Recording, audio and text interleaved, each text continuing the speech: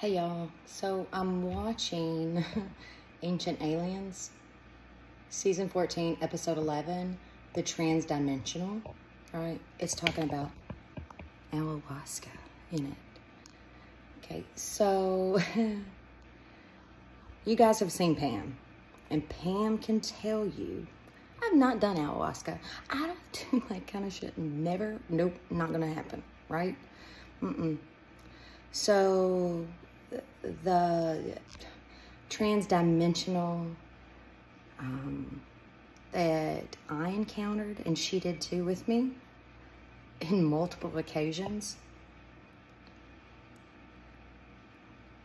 is a truth that we just hold within our lineage that uh, we're here to help and we're here to guide and we're here to correct things that were not done before that should have been done over lifetimes, lineages. Like, I, it is so hard uh, to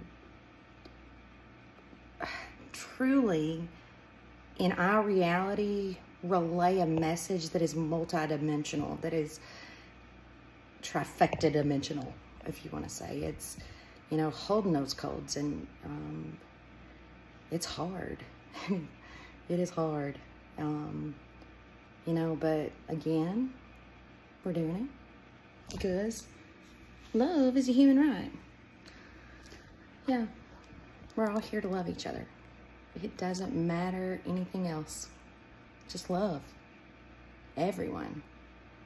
Seen, unseen, what you don't believe, what you don't even realize is there. Love is all you need to do. So that's what I choose to do. Um, there are things that I don't understand and I don't claim to understand, and I will probably never truly, at a fundamental level, understand. I can only hold what I can hold in this human form. So, again, it, yeah, we're, we're doing it and we're not going to fail. So, you know, I hope that we all can wish love for each other. That is all, nothing more. I wish love for you, each and every one of you. I may not know you, I may never know you. I don't care. You're a good human, and I'm thankful you're here with us right now doing all the dimensions right now. So you can't say that there's other, like we're striving for the top level if we're doing past, present, future right now. It is now. There is no other now but now. So, yeah. Again, like I said, I'm going to hold love. And I love you all. So thank you. Bye, y'all.